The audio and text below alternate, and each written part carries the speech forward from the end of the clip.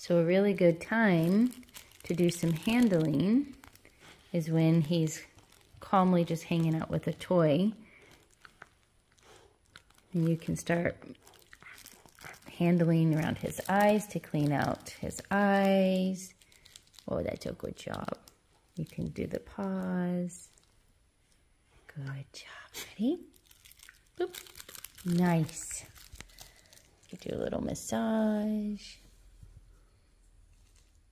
Nice job. Pause. Good.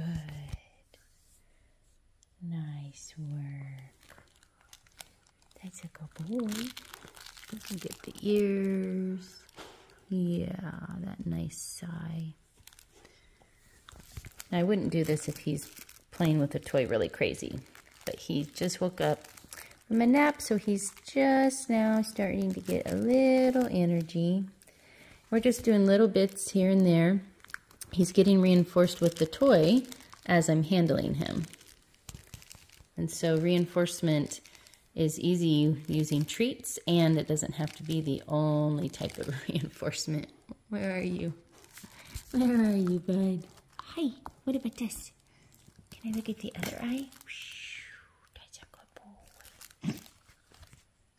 Ready, ready, ready, ready. Get that toy. Over here. That's a good boy. You really want to dig into the paw pads. Good job. You're just keeping it real light. I know. Can I rub your eyes? Oh, what a good boy. What a good boy. Really nice job. Really nice job.